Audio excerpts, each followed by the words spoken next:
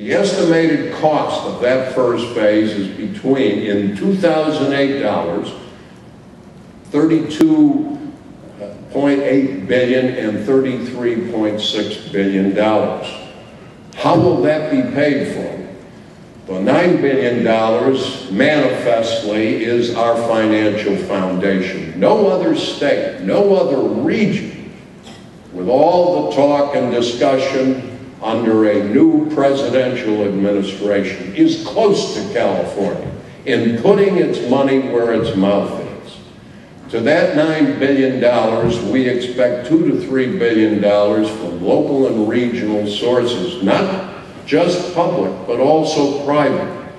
Those of you who have seen high-speed rail stations in Europe or Asia probably have remarked about the development which has occurred around those stations. You sell air rights if you own extra land, you can uh, sell or lease long-term uh, that land for development, and it works financially.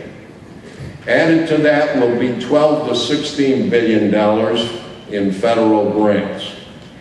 And that already is shown by the fact that a new president is responsible for the fact that in the American Recovery and Reinvestment Act, which he signed on February 17th of this year, there is $8 billion allocated for high-speed and normal rail. In California, under the rubric of the governor's office, will submit an application just as soon as the criteria are published in early June by the Secretary of uh, Transportation.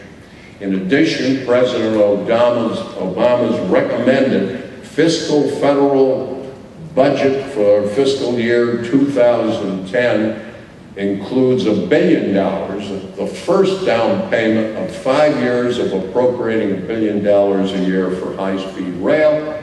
In addition to that, the Surface Transportation Act, which is a five-year legislative program and expires uh, presently on September 30th of this year, will be renewed, obviously, for the next five years.